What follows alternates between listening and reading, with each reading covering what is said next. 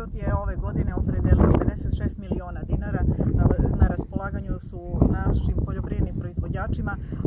Spektar mera je jako širok, tako da apsolutno za sve vidove proizvodnje ima neka subvencija i podsticaj.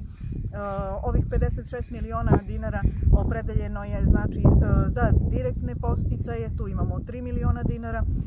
imamo za posebne posticaje milijun i 300 hiljada dinara, za kreditnu podršku je opredeljeno 700 hiljada dinara i naravno za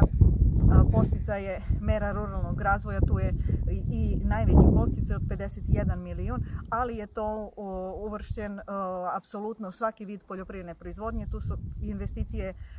za fizičku imovinu poljoprivrednih gazdinstava, apsolutno za sve sektore poljoprivredne proizvodnje, za sektore mleka, voća, povrća, prerade, osiguranje je tu uvršteno naravno ruralni turizam koji nam je nova mera od prošle godine i e, što se posebnih podsjecaja tiče tu smo opredelili milijun i 300 hiljada dinara, a ovi podsjecaji se odnose na edukacije naših poljoprivrednih proizvođača bez obzira što grad misli o tome da oni investiraju u fizičku imovinu, u podizanje zasada, u kupovinu kvalitetnih priplodnih grla, u kupovinu mehanizacije.